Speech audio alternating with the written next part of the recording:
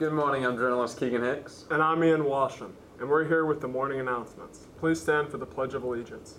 I pledge allegiance to the flag of the United States of America and to the republic for which it stands, one nation, under God, indivisible, with liberty and justice for all. Please remain standing for the morning prayer. In the name of the Father, the Son, and the Holy Spirit.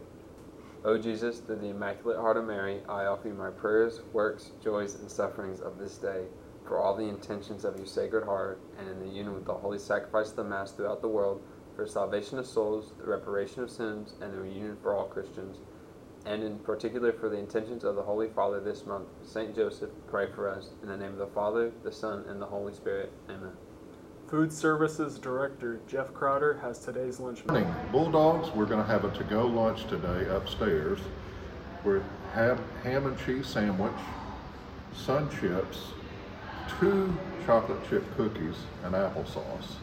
Here's the latest sports news from Coach Brent Bruick. Good morning, Bulldog Nation. It is Tuesday, October the 19th.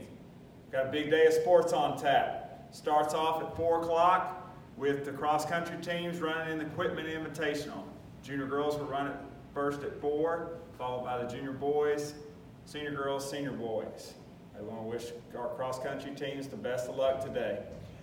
Also, in this gym at 6 o'clock, we have district volleyball. Our girls will take on the Cutter Morning Star uh, at 6 in the semifinals. The winner moves on to the championship game. The loser will move to the third place. Our girls are the two seed and will take on the three seed Cutter Morning Star. We need to pack the gym. Get out here, support the volleyball team and their coaches. We need to be loud, proud, show that Bulldog spirit. Take care. Have a wonderful Tuesday. And as always, go Bulldogs. The Church Youth Ministries Here's the Thing group meeting for 7th and 8th grade girls will be held today during lunch in room 202 of the Spiriton Center. Order a to-go tray from the cafeteria if you plan to attend.